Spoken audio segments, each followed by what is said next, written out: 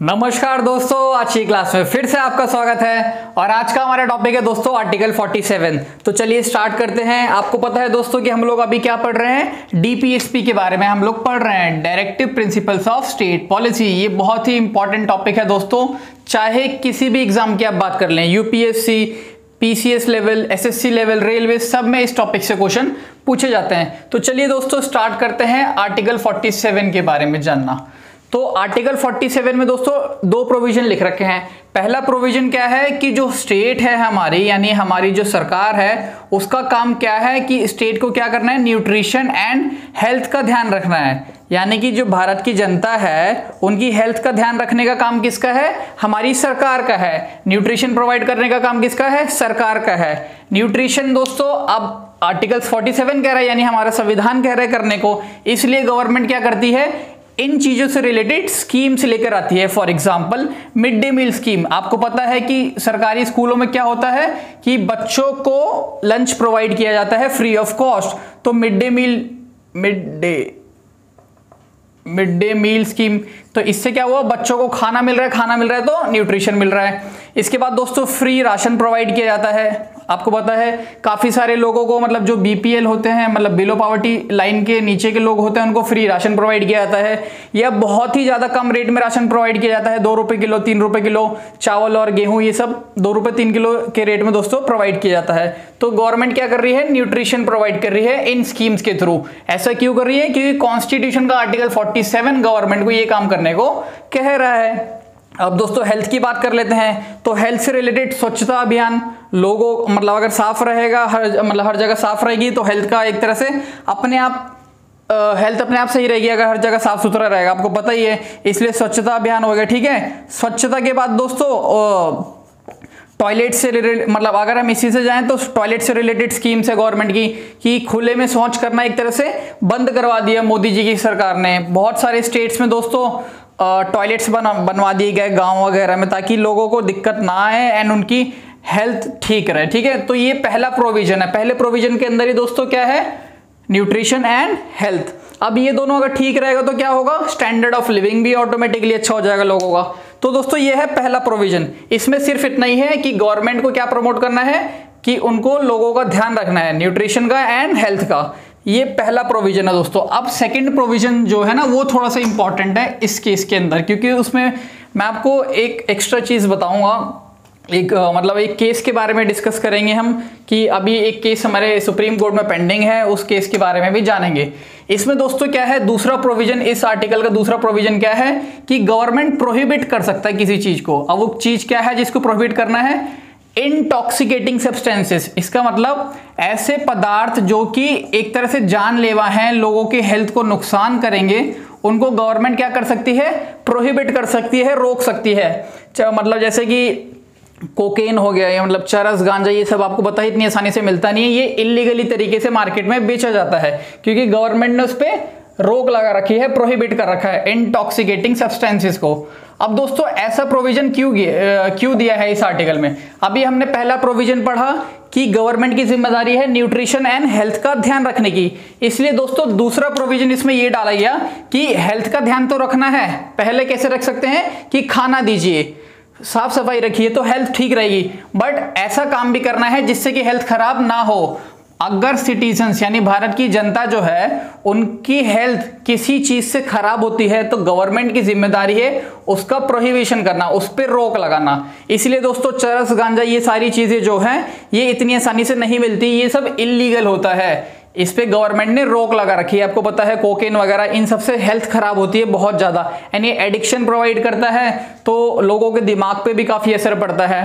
तो इंटॉक्सिकेटिंग का मतलब वही है जिससे कि हेल्थ खराब होती है।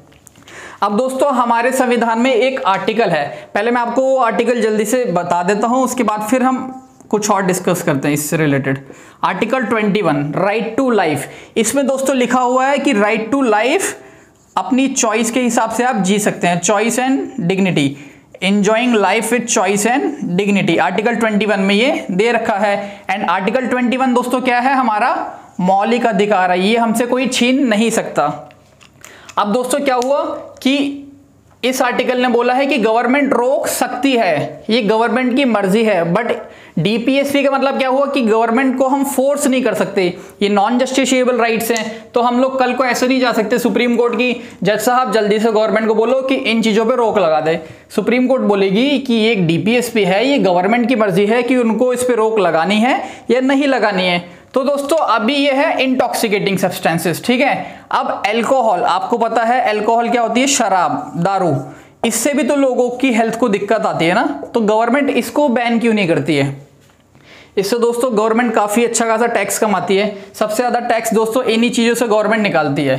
तो अब इसके, अब जो सिगरेट्स हैं सिगरेट्स के ऊपर गवर्नमेंट वार्निंग लगा देती है कि जान के लिए मतलब हानिकारक है, सेहत के लिए हानिकारक है सब लगाती है। अब लोग अपनी मर्ज़ी से ज़बरदस्ती खाते हैं तो उसमें गवर्नमेंट की भी कोई दिक्कत है नहीं।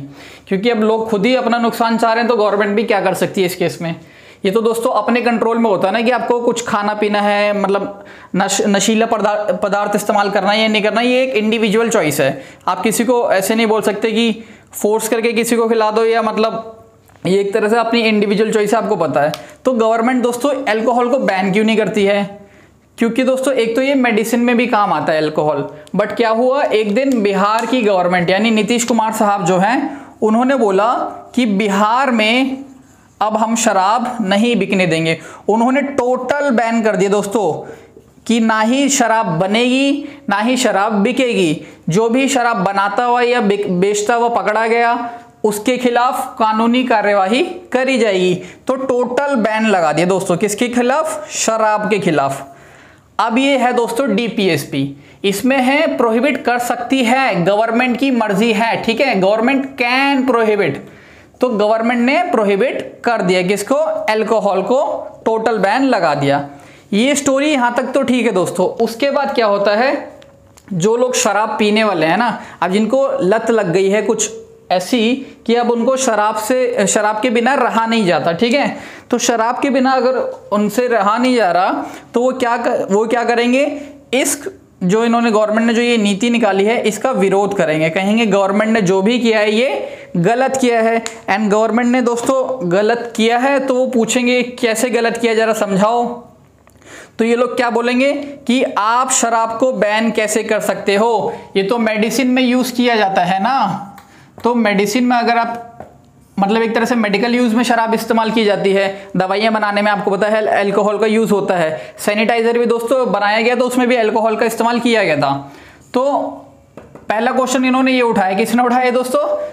जो लोग शराब पीते हैं, उन्होंने बोला कि गवर्नमेंट आप कैसे बैन कर रहे हो? इससे दवाइयाँ बनती है। उन्होंने बोला, अगर आप ये भी नहीं मानते ना कि दवाइयाँ बनती हैं तो दूसरा प्रोविज़न है हमारा फंडामेंटल राइट right. हम अपनी लाइफ को अपनी मर्ज़ी से इंजॉय कर सकते हैं. तो ये गवर्नमेंट को बोलते हैं कि आप कौन होते हैं रोकने वाले कि हमें शराब पीनी चाहिए या नहीं पीनी चाहिए? आपकी हिम्मत कैसे हुई इसको बैन करने की? इन्होंने गवर्नमेंट से ये क्वेश्चन पूछ लिया दोस्तों. अब गवर्नमेंट तो यहाँ पे फंस गई। गवर्नमेंट ने बोला कि अब ये फंडामेंटल राइट की बात आ गई। तो दोस्तों, जो ये लोग हैं, जो कि मतलब विरोध कर रहे थे इस पॉलिसी का, वो चले गए Patna high court. Patna high court में गए तो वहाँ के जो, पटना जो हाई कोर्ट है, पटना हाई कोर्ट ने बोला, बिल्कुल सही बात है। किसके लिए बोला? गवर्नमेंट के विरोध में बोला। उन्होंने बोला, ये फंडामेंटल राइट है कि लोग अपनी मर्ज़ी से लाइफ को एंजॉय कर सकते हैं। कोई किसी को फोर्स नहीं कर सकता कि आप मतलब शराब आपने बैन कर दी। ये तो अब उनकी चॉइस थी, वो पी रहे थे। आप कौन होते हैं बैन करने वाले? तो दोस्तों, पटना हाई कोर्ट ने क्या किया? नीतीश साहब की मतलब नीतीश साहब की गवर्नमेंट ने जो ये कानून निकाला था ना, उसको नल एंड वॉइड डिक्लेयर कर दिया। तो क्या हुआ? नीतीश साहब चले गए सुप्रीम कोर्ट। एंड दोस्तों, सुप्रीम कोर्ट में अभी ये मैटर पेंडिंग केस में पड़ा हुआ है। अब देखते हैं सुप्रीम कोर्ट इसमें अपनी क्या जजमेंट देती है। उम्मीद करता हूँ दोस्तों, आपको आर्टिकल 47 अच्छे से समझ आया होगा। पहला प्रोविज़न हमने डिस्कस किया न्यूट्रिशन एंड हेल्थ का। एंड दूसरा प्रोविज़न कि गवर्नमेंट बैन कर सकती है इंटॉक्सिकेटिंग सब्सटेंसेस को। एंड दोस्तों, ये जो मैंने केस बताया, ये एक तरह से आंसर राइटिंग में काम आ सकता है। आपको पीसीएस लेवल में भी एंड यूपीएससी में भी। आपको पता है कि अगर हम सुप्रीम कोर्ट की एंड हाई कोर्ट की जजमेंट कोर्ट करते हैं अपने आंसर में तो फिर हमें एक्स्ट्रा मार्क्स मिलते हैं। अगर दोस्तों आपको वीडियो पसंद आई है तो इसको ज़्यादा से ज़्यादा शेयर करिए। बहुत बहुत धन्यवाद।